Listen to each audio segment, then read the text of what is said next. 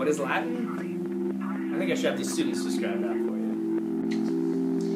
Middle school to high school Latin. Middle school was definitely easier and I liked it. But now in high school, I like it even more. Concepts are harder, but it's even more enjoyable now. Not represent the same thing. The first L represents Lucius, which is the name, and the second L represents Libertas, which is the freedom.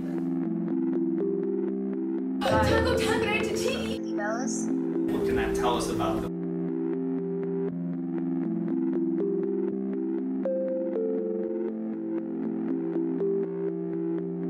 Two of the Ibsen. S.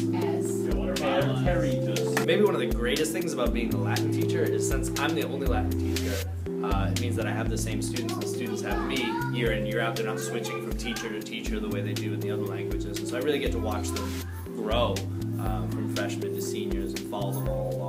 Uh, it makes it that much easier when I'm writing you know, letters of recommendation for college because I really get to know the kids and establish a real relationship with them. So I took Latin because it helps with a lot of learning other Romance languages as well, and with English vocabulary. Vocabulary that's been really helpful too. And uh, we've done a lot of fun projects in Latin, such as we translated a movie trailer. Et hic eximus. We also went on scavenger hunts. Cuniculus cum puella est. Puer serpentem magnum digito indicat. Puella Kylo est.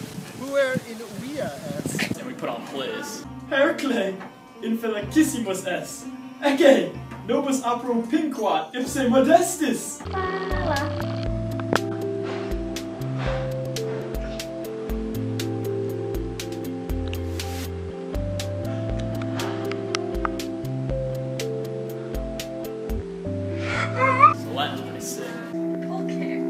Quid decebus.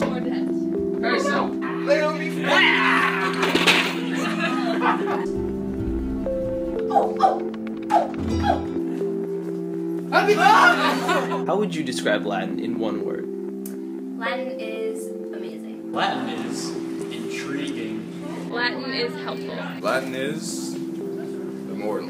Describe Latin in one word, huh? I'm gonna use a Latin word. Latina gaudium est. Gaudium, a joy.